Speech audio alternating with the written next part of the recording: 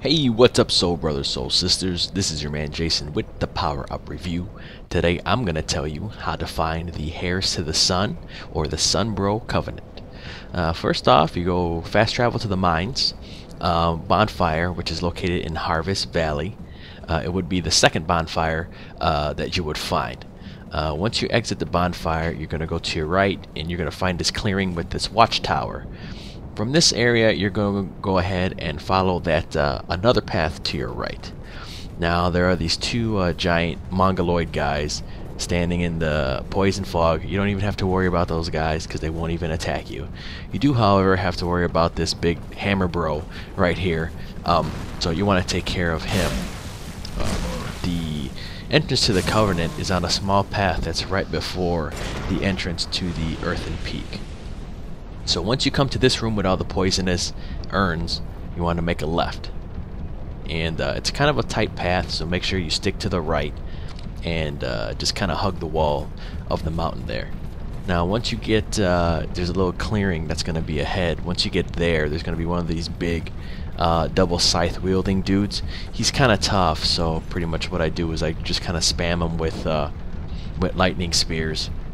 And um, so he's kind of tough, so you can either kind of fight him in this little hallway, or what you can do is run past him to the left and then just uh, fight him in the room that you joined the Covenant at, which might be a good idea because it's a it's a decent sized area.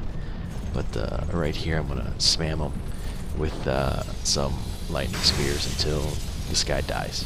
Um, as you know, the Heirs to the Sun, you know, they're the descendants of the Sun Bro, so it's mainly a co-op based Covenant. Uh, I've been playing as it for the past uh, two days, and it's been really cool. it's been really easy to get some co-op going, and uh, you shine like a bright yellow. Now, uh, the thing is with the uh, with any covenant, when somebody summons you, you do have a limited amount of time. Um, so you kind of want to make sure that you don't dilly-daddle and help them find whatever they need to find uh, defeat whoever they need to defeat, and do the boss so you can get your sun medals. Now, 10 sunlight medals gets you the sunlight shield, 20 gives you the sunlight blade, and 30 gives you the sunlight spear. So as you can see here, it's the shrine. Uh, looks kind of familiar, but actually we get to see the sun god's face, um, which he kind of looks like Chuck Norris. so you go ahead and kneel, enter the covenant, you'll get a Sunlight Covenant ring, which slightly boosts your miracles. Uh, it's a pretty good ring, and I use it all the time, especially if I'm throwing my Sunlight Spears. Uh, so it's definitely worth it. So this is Jason with the Power Up Review, and take it easy, guys.